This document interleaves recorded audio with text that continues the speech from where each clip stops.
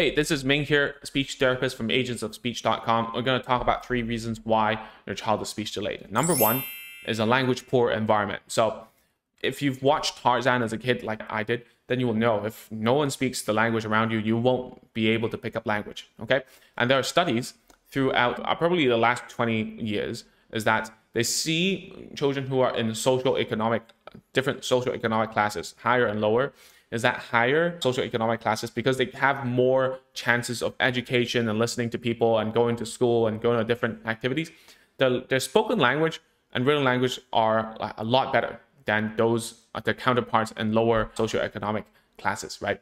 And that's just the reality of which, right? If you are in the environment in the vicinity of like people who speak very well then the chances of you speaking well and learning the language will increase as well okay so that's number one. So if you're thinking about how to improve your child's language, is always to give, provide a language rich environment, right? And the reason why sometimes like you hear in this channel or somewhere else, you say cut off screen time. And the reason is because when you're having screen time, is that a language rich environment or not, right? Your, your child is bombarded with words and, and songs and, and sentences and stories, yes. But at the same time, the function of language is to communicate. So if they learn all these language parts like Lego bricks and they don't know how to use it, then it's still a language poor environment.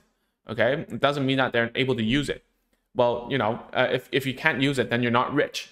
You know, same as money. It's the same as language. You, you can't use your language, you're still language poor. So that's the reason behind it. That's why we, we always say cut the screen time and have quality time with your child. And that means if you search on YouTube, you go like language facilitation skills, right?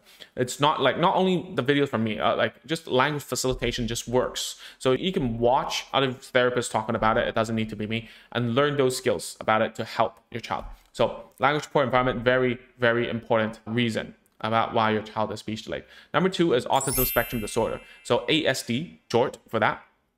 And the reason why it becomes so to speak, speech delay. It's not really speech delay. We talked about this before in a video. It's actually language delay because autism spectrum disorder, ASD, people on the spectrum, uh, so to speak, they have a problem um, understanding why they should talk to us, right? I'm saying they and us because literally it's neurodivergent and we're neurotypical, right? So between people like us, stereotypical people like us, and people who are on the spectrum, they do not understand why we have to uh, communicate when they can have all the food, all the shelter, everything, you know, given to them. There's no other need, and they don't really like when people say uh, ASD children do not enjoy playing or do not enjoy hanging out with with us.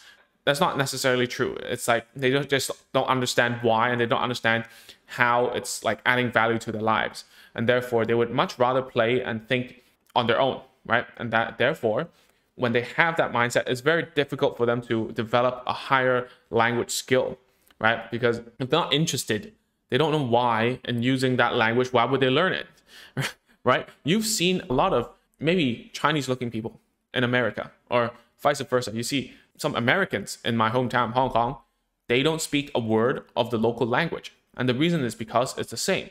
Their function and their like their desires and wants do not align with the effort for learning the language and therefore they would be delayed or they, they won't learn the language, right? So it's the same thing, but we have to think it in a different way, all right? So the second reason is about ASD, okay?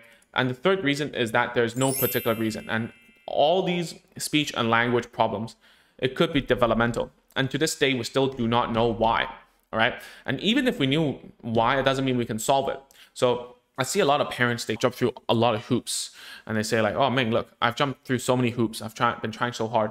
I want to know why, what's going on. A parent recently told me, oh, my, my kid has some sort of like heavy metal poison or like it's a slightly higher heavy metal number. Okay. And they were saying, is it possible that my child is speech delayed because of this? And my response is maybe, I don't know. Probably, I, I really don't know. You know, ask a doctor. But at the same time, you have to think about like, if this is the reason, solving it will actually lead to better language. And most of the time, the answer is still maybe. We still don't know. So given that we don't know the reasons why, all we can do is to teach language one by one, the reasons about why they have to learn how to communicate, how to imitate us, how to take turns, how to wait. All these we have to teach the kid so that even if they don't feel good, they can still have a way out. Okay. So it's a very important concept for you to understand that even if we knew the reason, we cannot solve it. There might be some part of the brain that isn't developing the, the way it should be.